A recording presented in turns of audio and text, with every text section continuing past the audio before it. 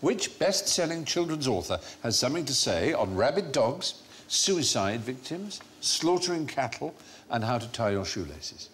Aye, aye, aye! Yes, Steve. Katie Price.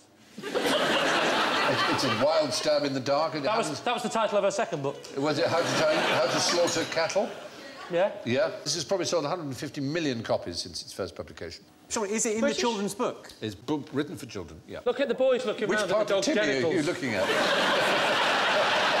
he is Dick. That's Dick there on the left. Dick. Dick, Anne, and Julian. Julian and Dick is looking at They're Timmy's both- bits. Girls, eyes forward, boys going, hello.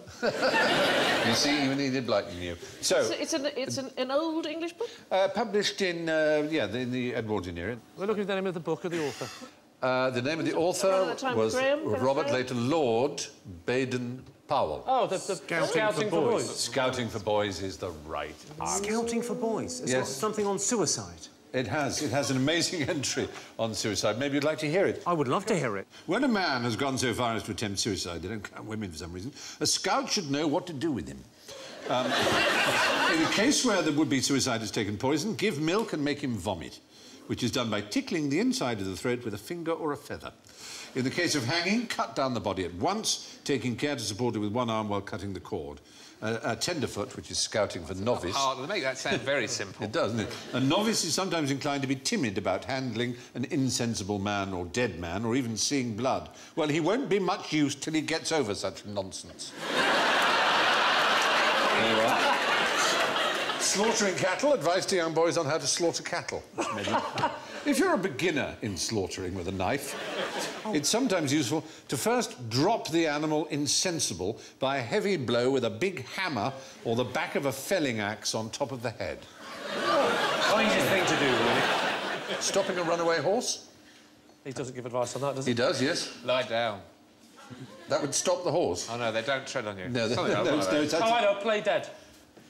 How would that stop the horse? Um, I'm thinking of punch it on ferocious the grizzly nose. bear again, aren't I? And what you don't do Oh, is stand it. in front of it waving your arms. That's the mistake to make.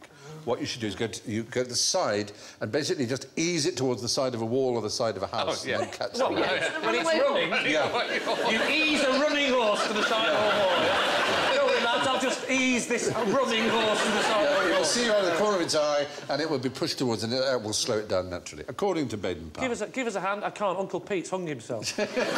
What about saving someone who's fallen in front of a train? Oh, don't. Oh, well, I know this. You ease the train up against a wall. If the train is very close, lie flat between the rails, make the man do the same till the train passes over, while everyone else will be running about screaming and excited and doing nothing. You're supposed to jump on the track with him? Yeah. And push his head down? Yeah, keep yes, lie I'm going to flat. do Does that, that yeah. work, though? Is there such a big gap between think the wheels some- that some you... It people does have in done that. movies, but I, I wouldn't be the one to try it. That'd be great if you hung yourself and then a scout cut you down and, and you went, oh, well, don't worry, I'll jump, jump under a train. And again, He's here again! All right, mate.